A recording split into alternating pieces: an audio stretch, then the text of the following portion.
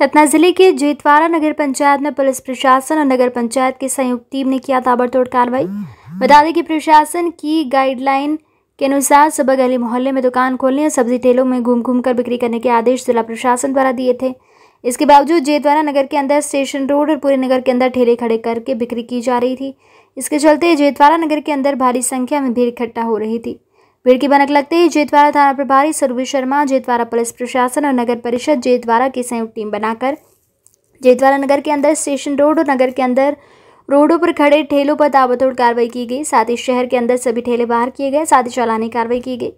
जेतवाड़ा नगर परिषद सीएमओ अजय गुप्ता ने संवाददाता अनमोल मिश्रा से चर्चा करते हुए बताया कि रेलवे स्टेशन रोड से स्टेट बैंक तक सब्ज़ी की दुकानें और ठेलों को कड़ा प्रतिबंध लगाया गया है।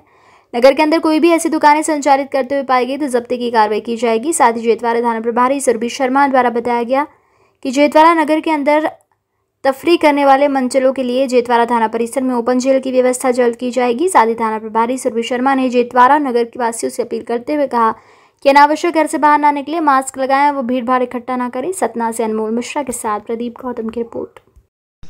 जी में जो सुबह टाइम भीड़ लग रही है। उसमें काबू करने के लिए, उस भीड़ को नियंत्रित करने के लिए कुछ आपके द्वारा नए प्लान हाँ निश्चित तौर पे आपकी मीडिया के माध्यम से और खुद हम लोगों ने, हमारे अभी नई थाना प्रभारी आई हैं मैडम जी, इनसे मेरी इस संबंध में गहन चर्चा हुई और हम लोगों ने ये निर्णय लिया है, पुलिस प्रशासन और नगर पालिका प्रशासन के तरफ़ से कि कल हम आज शाम को हम पूरा उस प्रतिबंधित क्षेत्र रेलवे स्टेशन से लेकर स्टेट बैंक तक कोई भी सब्ज़ी के ठेले और सब्ज़ी के ठेले में रखकर कोई दुकानदार, दुकान सब्ज़ी नहीं बेचे अगर ऐसा उस रोड में कोई सब्ज़ी बेचते हुए ठेला खड़ा करते हुए पाया जाता है तो उसको जब्ती की कार्रवाई की जाएगी। शेष अन्य रोडों में जो सब्ज़ी वाले हैं, जो शासन की गाइडलाइन है उसके अनुसार ये बारह बजे तक घूम घूम कर सब्ज़ी अन्य मार्गों में बेच सकते हैं, क्योंकि वो मार्ग बहुत संकीर्ण है और वहाँ आसपास कई मेडिकल दुकानें भी हैं तो भीड़ ज़्यादा हो जाती है। इसलिए उस रोड को हम और टीआई साहब से हम दोनों आपस में चर्चा करते हुए एडीएम साहब से मैंने इस बात की पुष्टि की है कि सर, उस रोड में अपन सब्ज़ी की दुकानें नहीं लगाएँगे। ये कार्रवाई हम कल से करने जा रहे हैं। जी मैम। जेतवाड़ा नगर में, मुख्य रेलवे मार्ग में सब्ज़ी विक्रेताओं की काफ़ी भीड़ हो रही है।